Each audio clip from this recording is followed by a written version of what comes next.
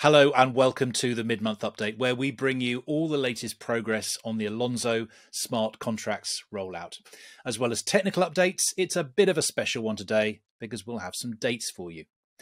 With no further ado, let's dive straight in. Nigel, Kevin, welcome and thank you for joining again. So, Nigel, it's been a particularly busy couple of weeks since we last spoke to you on the Cardano 360 show at the end of July.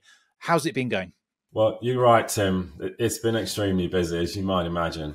So we've spun up the Purple Network now, um, and the Purple Network is our public network, and our community on there continues to grow. The the community's got everything running like they have been doing all the way through since Blue. We've got nodes up and running. People are running stake pools, and they're also testing the smart contract capability via the exercises that we've given them. So it's looking good what we're doing now is like we're rapidly moving towards our hard fork on the mainnet, and this is what it's all about. This is crunch time. Our engineering teams and test teams are working extremely hard, um, and we're all working to make sure that all our components are updated, ready for this hard fork. Outside of the actual internal teams, we've got our partners that continue to make progress on their dApps, and they're, they're working towards the point where we can actually give them a, a Plutus application backend so that they can finish it off and have a fully integrated dApp on our network. And they're making great progress as well.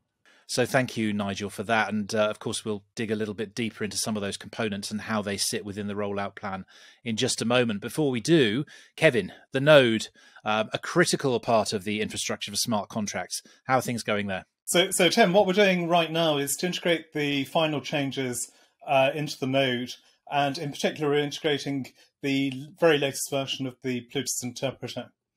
In addition, of course, we're doing a huge amount of testing. We're shaking the system down. We're running lots of performance and scalability tests. And very, very importantly, we're working on additional uh, property tests uh, to ensure that we have the best possible node uh, ready for the mainnet release. There's still a bit more to do, but but overall, it's looking good. We're in a very good place. So, Nigel, the Purple testnet, which of course is our first public testnet, has been running for a little over a week now. Perhaps you can give us an update on that and maybe just uh, walk us through the progress made so far and where we're going next. Well, if I bring up a, if I bring up a slide, um, I can start taking you through what the what the plan is. So, as we started with with Purple, we've, we've increased the community. We've invited another 300 pioneers. We'll be opening that up next week. And we're aiming that within the purple phase, we will end up with over 500 community members uh, working on our network and working with our, uh, our smart contracts. They've got a bunch of exercises, three to five, and we'll extend them. We've actually written them up to seven, so there's even more to be coming soon. What are we doing internally? What's important is is that outside of our main uh, node delivery, we have several components that are critical. So the critical components have to be ready first, um, and we're bringing them up to speed, which includes DB Sync, Cardano Wallet, the Rosetta API, which is used for integration with the exchanges, GraphQL, and Explorer. Now we're, we're, we have actually got 140 different exchanges that have listed um, ADA um, on their marketplace, which is a terrific number. As we approach Monday, what we've got to look forward to is we've got our final mainnet candidate release for the node and also for Plutus Core, which is the Plutus interpreter, um, an update on the cost model. Um, and that together will be will constitute our release for Alonzo. In addition to that, we also have our Daedalus release, um, the main wallet coming out as well next Monday. So, Nigel, 140 exchanges is pretty incredible, really. Um, but obviously, that's another part of this complex web of components and interdependencies and partnerships that needs to be kind of brought along with the rollout. Um, what's being done to bring those exchanges on board? Well, we're working with uh, the Cardano Foundation team, and they lead the the relationships with the exchanges. Got them involved with Purple. There's some of them that have actually worked as pioneers as well for us on the other networks too.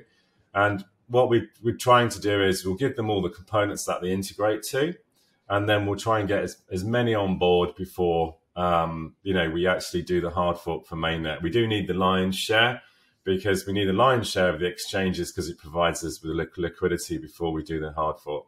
So what's next? What's coming up next week, Nigel? Well, we talked about the the final candidate release of the node and of Plutus. The next stage is we have to integrate those two together, so we've got a full package, and then we can start moving through all our scenarios where we have to run all our QA tests. We have to run several automated testing suites in order to make sure that we've got the required level of quality. Um, as we approach the 23rd of August, we will be getting the, the uh, a bump up for the Cardano wallet. This doesn't change the interfaces that the exchanges work to. It just makes sure that actually we've we've um, integrated it to the final mainnet candidate for the node and for Plutus. There isn't any updates that's required to the GraphQL or um, Explorer or Rosetta because we're not changing the schema for the DB sync. Following from that, the, the final piece is the Daedalus wallet, which will be bumped up to the final mainnet candidate following the Cardano wallet release. And then the ultimate point is, is at this stage, we've got the whole package together and we have to get, we have to uh, all agree on a go, no go call, whether we issue that update um, to the Cardano testnet. So, Nigel, once we've got all these components ready, the next step, I guess, is hard forking the Cardano testnet. Perhaps you can share with us when that's going to happen. So, three days before the, the hard forking the testnet, we do the update proposal. And what we're aiming at is to actually hard fork the Cardano testnet on Wednesday, September the 1st. So that's obviously a very, very important moment. It's kind of almost the last piece of the puzzle before we can then move towards a mainnet hard fork. But it's also a very critical and important time to do last minute checks and really make sure we're ready. Perhaps you can just talk us through a little bit once we've hard forked the test net. What do we need to do then? Well, once we've hard forked the test net, it's about you know testing it on the test net, which is um, a live environment. It's a, almost like a pre-production environment um, to mainnet, and we get to see the whole package run in a uh, production environment and we'll be doing our own tests on there. We'll be inviting others to test on there, and then when we're ready, um, we will move towards a, a hard fork for the mainnet. So, Nigel, this is really about trying to identify those potentially fundamental, potentially catastrophic errors. That's what this is about, isn't it? It's about that stability and that security, but also putting in the foundational code to run smart contracts. That's right, and it is a test net, so there's no guarantees. It's a really uh, complex project, and it's a bit like you've said to me before. It's like playing 3D chess. We have components, we've got dependencies, we've got implementations going on, and we've got different testing routines that we've got to perform um, across the end-to-end stack. This this period of stability we'll have in the Cardano testnet is very important to us um, to make sure that we get the confidence that we're ready to hard fork the mainnet and we haven't found any potential catastrophic issues. It's also the final step for exchanges to move from purple to actually our pre-production environment where they can test their own setup as well. So let's share the projected date for the mainnet hard fork when we deploy Plutus capability on Cardano. Right, Tim. Um, once we've hard forked the testnet, it gives us this period of stability where we can test it and also our exchanges can test it. As our exchanges are testing it, we'll have our smart contract exercises running on it, um, and our various community members also using it. And then we have we have to make sure that we're ready, and we'll submit a proposal for our mainnet hard fork, and we will also package it up with our Plutus application backend, so that we can have a complete smart contract release ready for people to use. Our full smart contract toolbox ready for the Alonzo hard fork, and this is the date that we're aiming at. Monday, September the 12th. Thank you, Nigel. That's a date that many, many people have been looking forward to uh, to hearing. Of course, as much as it's a destination, it's also a beginning. It's the implementation of Plutus smart contracts on Cardano.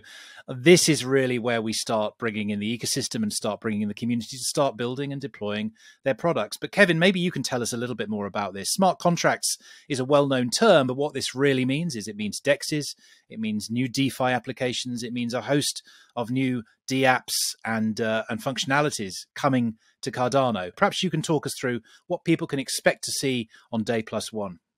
Yeah, we're expecting some new applications right from the very start, including uh, the ones that our Plutus partners are working on, uh, with more arriving after the hard fork.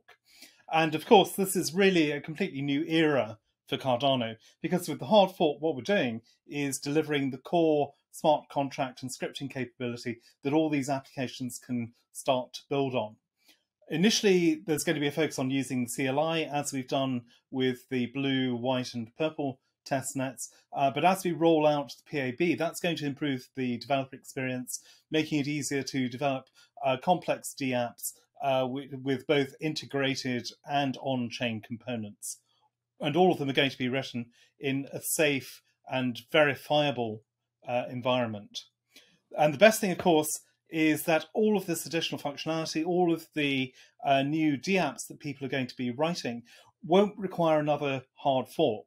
Once we've gone to Alonzo, all the scripting capability is going to be there. People can pick it up, they can use it. So we will be in a situation where people can develop the applications that they want to, the DeFi applications they want to on Cardano. So, Nigel, a very busy month ahead, but I think a very exciting one. What does uh, what does the rest of the month look like for you now? It's about bringing the teams together, making sure we go through those critical steps as I've presented, and making sure we keep all our partners and exchanges and pioneers along for the ride as well. So as we as we come up towards the this hard fork, we will deliver the the Plutus capability, our full toolbox of smart contract capability, and then we'll start to iterate from there. It gives us the foundation to build on Cardano. We'll have um, as Kevin has said, we'll have more and more dApps and other innovations coming out shortly afterwards. So there we have it. The 1st of September for hard forking the testnet, followed by the 12th of September for the mainnet, bringing on a new era of smart contracts to Cardano. We'll keep you posted as we head along the way, and we'll see you at the end of the month for Cardano 360. But before we go, two further dates for you. Join us on the 25th and the 26th of September for the Cardano Summit. It's going to be a virtual world event and it's going to be a real world event with seven events across the world London, Miami, Berlin, Cape Town, Tokyo, New York, and Wyoming. On top of that, we're also working with the Cardano Foundation to bring meetups to many other cities across the world. So if you want to get involved and you want to host something locally, visit the page and tell us more. Let's make this the biggest celebration ever. See you at the end of the month.